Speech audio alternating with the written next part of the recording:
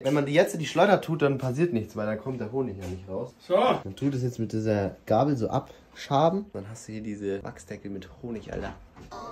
Ja, es ist wie so ein Honigkaugummi, Alter. Das ist zu krass, Mann. Wirklich geil. Noch eine Ladung? Ladung Nummer zwei. Boah, Junge. Flüssige Honig drin. Alter, fast too much, Alter. Ist so süß. Wenn man die ganzen Deckel abgemacht hat, dann kann man die jetzt in die Schleuder rein hier. Braucht man halt vier warm und dann geht's ab, Alter. Irgendwann ist da nichts mehr drin an Honig. Dann ist nur so ein. Hast du das Winter geschluckt? Ja, nein, hab ich nicht. Alter. Da kannst du schon, aber. Nee, der Bart war ein bisschen Glaub- zu fett. Der Kloß im Magen, Digga, der verdaut sich nicht Nee. so schnell. Alter, wie es tropft. Oh, Digga. Jetzt ist fertig. Da schwimmt er. Passt gar nicht rein.